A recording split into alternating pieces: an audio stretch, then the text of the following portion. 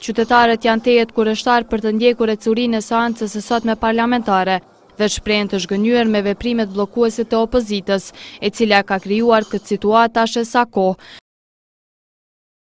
Po nuk është e mirë, nuk është e mirë, që me ato nuk mbërrihet po qëllimi, me që ato po e hupin autoritetin që i kanë pas opozita.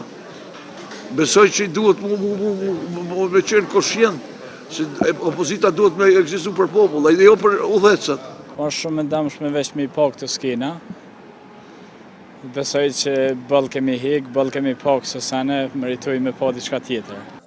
Qytetarët shprehen të pakënaqur me atë që po ndodh në Kuvend. Thonë se Kuvendi është për zgjidhjen e problemeve dhe jo për të bllokuar proceset.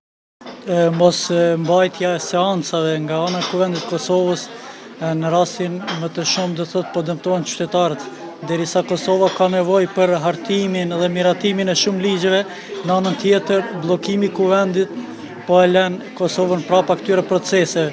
Po si qytetar i Kosovës mendoj unë që do të patjetër m'u ul, m'u qetësu gjaknat, m'u m'u bisedu se nuk i vyn, domethënë me, me një fjalë, nuk i vyn as pozitës, as opozitës, m'u vra një qytetar në këto protesta, nuk ka me iu dashtë as njënës palë as tjetrës.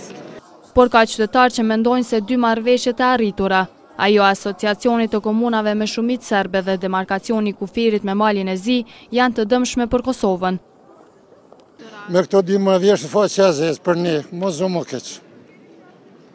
Ka bo gabim, si i ka nënshkru, po së për në vesin e vishëm. Mendoj që janë shumë të dëmshme, Qysh, qysh e kuptojmë na si qytetarë besoj që janë të dëmshme, sidomos kufini, për shkak se nuk nuk nënshkruhet diçka kur nuk je i sigurt se çka po nënshkron. Qytetarët konsiderojnë se vendi duhet t'i shmanget kaosit dhe duhet të ketë një zgjidhje për të cilën pajtohen të dyja palët, në mënyrë që çështjet kontestuese të tejkalohen dhe të vazhdohet me procese tjera.